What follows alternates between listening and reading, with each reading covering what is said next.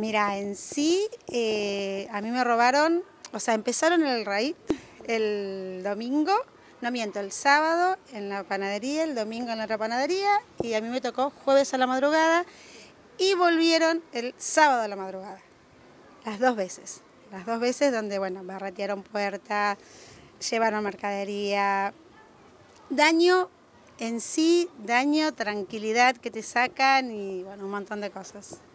A ver, importante para el trabajo de ustedes, porque es la fuente de trabajo, el kiosco es el lugar y la fuente de trabajo. Tal cual, es la fuente de trabajo y eh, convengamos que todos sabemos que la venta bajó mucho, o sea, internet te saca mucha lectura, entonces es pelear todos los días para ver si podemos reflotar con distintas cosas. Salió la colección de autitos, ya no es solamente a mí, otro puesto de diario también, vinieron por esos benditos autos que son los que se robaron.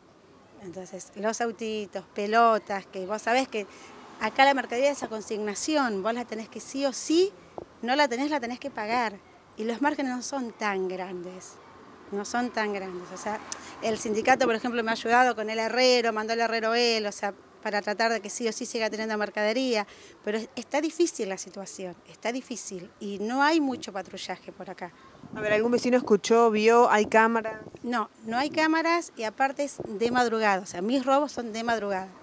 Entonces, al tener colegios eh, y no tener vecinos, se hace mucho más difícil que te, que te escuchen lo que está pasando. Que hicieron ruido, hicieron ruido seguro, porque hicieron saltar dos, eh, dos candados, eh, todo lo que estaba mm, soldado, barretear la puerta, ruido hicieron. Pero al no tener vecinos y estar justo frente a un colegio, es muy difícil que se escuche. Ese es el problema. A ver, ¿haría falta más presencia eh, policial, más patrullajes? Porque están a pocas cuadras de la comisaría novena también. Estamos a pocas cuadras, pero lo que yo tengo entendido, o sea, por lo que me explicaron a mí cuando fui, que me recibieron muy bien, es el tema es que ellos no tienen móviles. O sea, tienen un solo móvil que obviamente es imposible que ese móvil solo, porque es como que a la noche pasan todos al 911, no sé, una cosa así es como que me, explicaron.